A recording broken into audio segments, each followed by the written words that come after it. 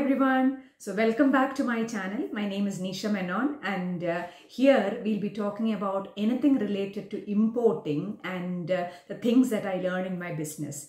So today we are going to be talking about a very important topic that is crucial to your business, I would say, which is promotion. So before I get into those details, I wanted to share a small happy news with you actually. So as you know, uh, you know we've got two brands, which is Nikasu that makes Indian frozen food products and Jack and Chill, which is exclusively for jackfruit based products. And we have rebranded Jack and Chill and now brought some vibrant colors to our packaging and more sustainability as well. So I got the new look of my packs last week and I just wanted to share it with you guys actually. So this is the jackfruit burgers and this is the pulled jackfruit and um, this is the jackfruit biryani. So you can follow us on uh, Jack and Chill Foods to uh, you know to hear more news and more uh, range that we are bringing in. We are bringing more curries into the UK market actually.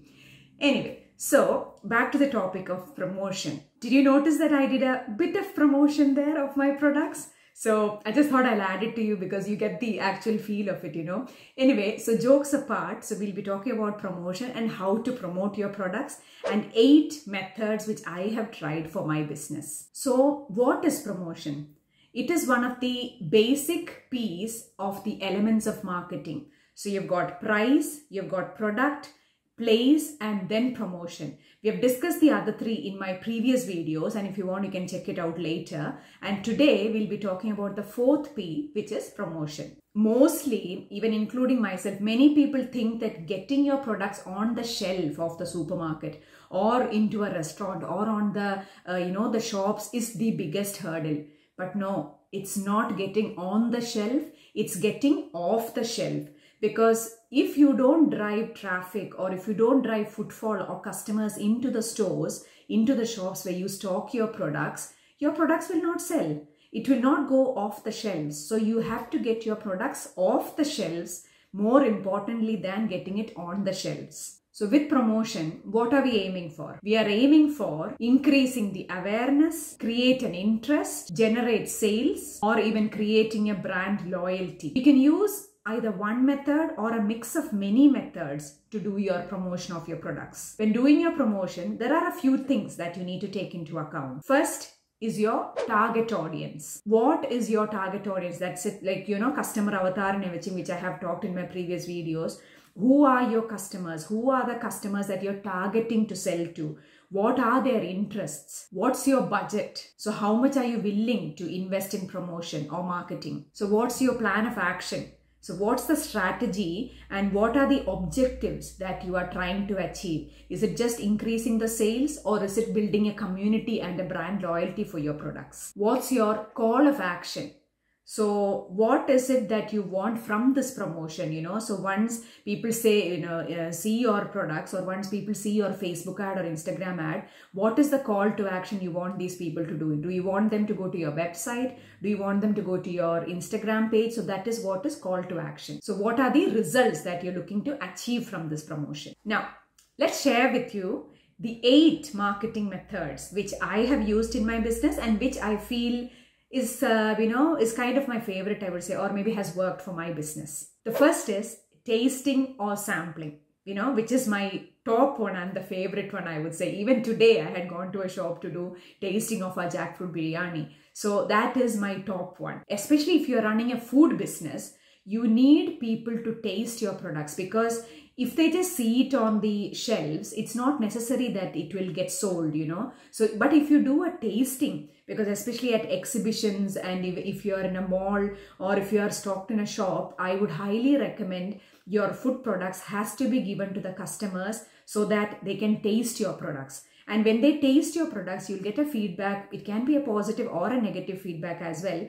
It greatly, you know, it helps you in improving the products or even understanding more about the products, the things that we must not have thought about. So giving tasting and sampling of your products in the shops where you are stocked is the first and the most important one I would say if you have a food business. The next one is offers on your products. So these offers can be seasonal offers or monthly offers or you know anything that you want to do. So this is the second one. In Chill, we do two different type of offers for Nikasu products because that's the Indian consumers and for Jack and Chill that's a different target customer. So I'll tell you quickly both. So for Nikasu what we do is because it's the Indian community, usually we target for the uh, the festivals like Diwali or uh, you know Ramzan or anything like that and where we give offers according to these uh, festival times we give like 20% off or buy one get one free or you know anything like that which is linked to those things and then we also give a, a banner or any marketing material to the shops to tell customers that the offer is there in these shops and then I also promote it on social media like Facebook, WhatsApp, Instagram to say that our products are available in these shops at this discounted price. For Jack and Chill, our most important month is January. Because in the UK, if you are from the UK, you'll know that there is a month called Veganuary where people sign up to have a vegan diet in January. Hence, it's called Veganuary. Vegan who, you know, in January, they try to be vegans over half a million people sign up in the UK last year. And then for us, because it's jackfruit based, it's quite important that we promote these products into this vegan community. So Veganuary is when we do the promotions as a, you know, like a 20% off or something. Even launch offers, that's another way which we can do. Then if you do ice creams, you can target the summer months, you know, because ice creams sell more in the summer months. So this is how you plan your in-store promotion or uh, your seasonal offers that you have to do. The next is the social media ads. So social media ads is, uh, as you know, it's a Facebook ad, it's Instagram ad, it's Google ad. So these three are the most popular ads which you will come across. So to be honest, I am not a great fan of social media ads because it hasn't worked well for me and i'm not a you know social media person as well so i don't know the inside uh, on uh, you know how these um, insights work of the social media as well so um, but and i think because we don't sell it directly to consumers we sell it only through the shops or distributors it doesn't work well. If you are a service based business or if you sell it directly to the consumers then it might be more beneficial for you because you can drive the traffic from the ads into your website where you sell your products or into your Instagram shop or Facebook shop, you know, where you sell your products and then you can track these sales as well. For us, because we don't sell it from the website, it's hard for me to keep a track of all these sales and hence it's not worked well. But there are many people for whom, as I said, if it works on the website, then it will be great for your uh, business. And one thing to remember is with, all these social media things, because their insights keep changing all the time, it will be good to keep updated of what are the changes and what things they have, new things they have, uh, you know, brought in. Again, there are lots of YouTube video where you can refer and even I keep uh, looking at those YouTube videos, but be updated on what are the things that keeps changing on these uh, social media platforms. And next is influencer marketing.